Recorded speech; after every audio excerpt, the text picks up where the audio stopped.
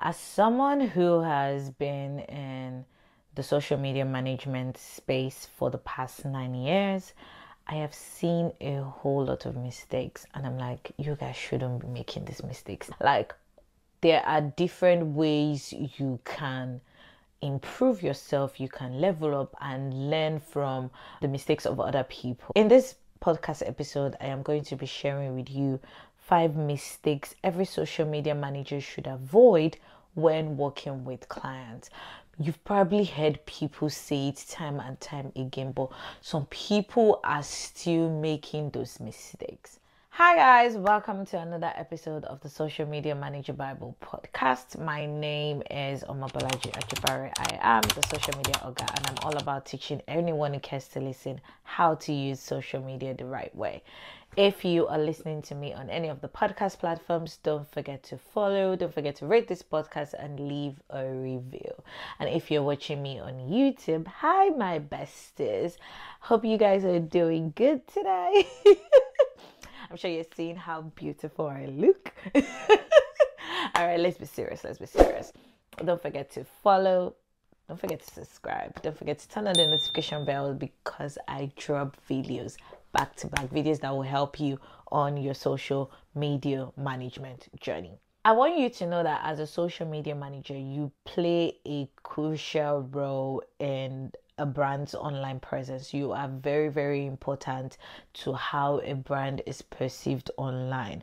But there are certain mistakes that can hinder the effectiveness and potentially damage the client's relationship with their target audience. Here are five mistakes I feel every social media manager should avoid when working with clients. Number one, neglect to understand the client's business and their industry. I keep saying it over and over and over again. If you're not well familiar with the industry of a particular client, please don't take them on because there's certain lingers, there's certain conversations that you that needs to be had, there's certain terms that you shouldn't even use in a particular industry.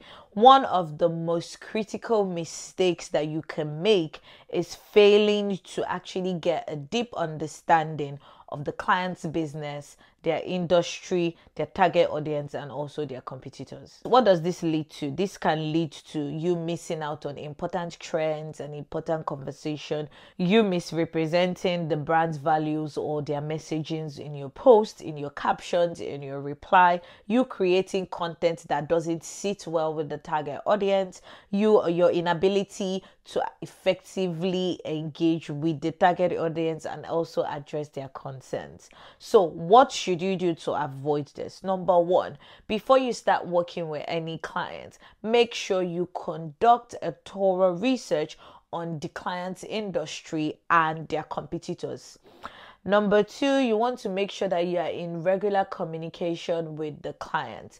Most times, you might not understand a whole lot about their business, but the more you communicate with them, the more you actually become a part of the brand itself. Make sure you communicate with the client so you stay updated on their business development. Number three, make sure you attend industry relevant events to stay informed about the things that happen in your client's industry. It's always very good if you work in a pharmaceutical company, if you work work in finance, make sure you're attending webinars and events that actually talk about these things because you are the social media manager for clients in those industries. Finally, you want to make sure that you stay updated with the news and trends in those industry. Stay updated, not just social media trends, not just social media news, but you want to also stay updated in the news and trends of your client's industry. Number two mistake I see a lot of social media managers make is over promising and under delivering. Don't even make a promise. Don't promise at all. Don't over promise. Just tell a client says, I want this, give them that. Don't do you can over deliver, but don't even make any promise at all. Don't. Don't do that.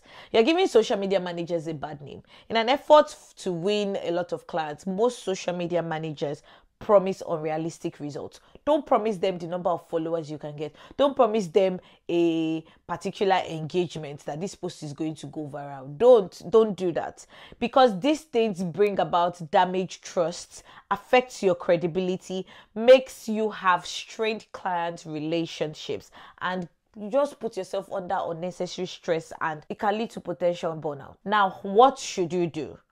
Set realistic expectations from the very beginning. When you start working with a client, make sure that you've already set realistic expectations of how many how long I tell clients it's going to take three months for you to actually see if the strategy I'm applying on your page is actually working. So if your followers are not growing in the first two months, don't blame me. I've told you three months. Because if you're managing a client's page well and you're doing all that matters, in three months they should be able to start seeing results. Also, make sure that you clearly communicate what is achievable within specific timelines and budgets. If your client does not have a budget for ads, tell them that uh, most of the results you're going to get is organic. Every client should actually have a budget. Make sure that you communicate well with your timelines and your budgets. Also, provide regular updates on the progress you're making and the challenges that you face. When I was working with my last client for YouTube management, at every single point in time when I was facing a hurdle or a challenge or a setback, I was always updating her. So make sure you provide regular updates. Be honest. Be honest about the limitations that you're facing and the potential obstacles that might arise from you managing that client or managing their social media or their brand pages. And also, try as much as possible to focus on delivering quality work over quantity. Make sure that you are not making grand promises. Deliver quality at all times.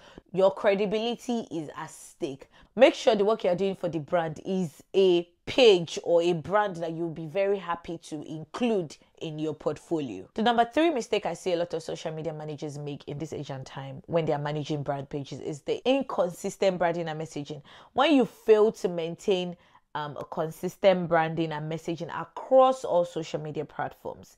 When you are using inconsistent elements, visuals, you are adapting different voice tones, you are neglecting to align the social media content and other marketing efforts. Like, for example, if the client is trying to sell this iPad, for example, no, let's say they're trying to sell these stickers, for example, and then on another platform they are doing something else. They are not aligning what they are the campaigns they are rolling on all social media platforms. That's very very inconsistent branding. You want to make sure that you are not making that mistake. So what do you do? Strictly adhere to the client's brand guidelines. And if they don't have one tell them to create one Tell them to meet a branding expert and create one. It's not your job to create a brand guideline for them. Also, create a consistent content strategy that cuts across all platforms as a social media manager. You also want to make sure that you regularly review and align the marketing objectives with the social media strategies across all platforms. You want to check that the social media content, your content strategy is cutting across with the, if they have like billboard signs, it is reflecting in the social media content. And develop what I can tell you that you can do if the client doesn't have it is you can develop a brand voice guideline and make sure you as the social media manager stick to it and get the brand to stick to it. And that's where you say, I'm sorry, no, this post cannot go up. I'm sorry, we cannot jump on this trend. Okay. The number four mistake I see a lot of social media managers make in this age and time is ignoring analytics and data driven decision making. I have become a numbers girl since I started my master's degree, and I can tell you there is so much that you can achieve if you focus on the numbers. You want to make sure that you know how to explain how much the client is paying you, the resources the client has invested in you as a social media manager is reflecting in their return on investment. Nobody wants to just be paying a social media manager for paying sake. They want to see the return on investment. Make sure make sure you are able to defend that. You are able to defend the resources, the time, the energy, the money that they are spending on you as the social media manager. And how do you fix this mistake? Make sure that you are regularly analyzing the social media metrics and it is aligning with your KPIs. Because even if a client doesn't have their KPIs or they do not give you any, set KPIs for yourself. I always do that. I always set KPIs for my YouTube channels, for my podcast episode, make sure that you set KPIs for yourself. Use A B testing to test what is working, your content strategies, your content. Make sure you are doing A B testing. Try this one today, try another one tomorrow. If this one is not working, maybe you try another one the next day. Make data driven decision. Don't just make decision based on a whim check the data, check the analytics. What post is doing well? What post is not doing well? How can we make the post that is not doing well do better? Continuously adjust your strategy. Don't use the same strategy you were using in January in September. Things have changed. The last but not the least, and I can tell you this annoys me a whole lot one of the common mistakes I see a lot of social media manager make is they have poor communication and they lack transparency. They have poor communication, especially on their social media pages. They don't keep their clients informed about the campaign progress. They are always trying to downplay the negative results that they get. They are always failing to seek input from the client. And they don't they are not always responsive to client inquiries or concerns. I have gotten feedback from clients from the social media managers i've recommended to clients that this person did this this person did this. And that's what actually motivated this video. How do you fix this? Establish clear communication channels. I started, one of my clients actually loves communicating via voice notes on WhatsApp. I'm not a WhatsApp person, but I had to do that because of the client. Some people like communicating via Slack. Some people like communicating via Google Meet. Some people like communicating via Zoom. You need to make sure that you establish clear communication channels. Provide regular updates and reports, even when there are no major news. Even if it's the same results that you got last month, make sure you create it create an analytics report that actually shows that. Be proactive in addressing the challenges you face as a social media manager. Don't be waiting for your clients to tell you what you need to do. You are the social media manager, they came to you for a reason or they employed you for a reason. Be proactive. I'm sounding like my mother right now. Respond promptly to clients' messages and concerns. If they have any concerns about something, try as much as possible. Don't respond with your emotion because sometimes I do that. As, Actually, I do that. But respond promptly. I'm not saying respond immediately, but respond promptly. If they send you messages outside your working hours, you can respond during your working hours the next day. Be transparent about areas of improvement and also your successes. Be very transparent about it. There is nothing to hide. There is nothing new under the sun. They say it every single time. What you are doing, somebody has done it before and even done it better than you. Be very, very, very transparent. These are five common mistakes I have seen a lot of social media managers make. I have also made some of these mistakes by myself and I have learned from it. Make sure you learn from your mistakes as a social media manager or the mistakes of other people. I hope this podcast episode helps you understand or helps you see where your shortcomings basically. I wanted to say something else, but I hope this podcast episode helps you realize where you are falling short of something, of being actually the best social media manager for a brand or a business. If you found this helpful, you know what to do. Subscribe on YouTube, follow and rate on any of the podcast platform. If you have any questions, drop it on Spotify or YouTube, and I'll see you guys in the next episode. Bye.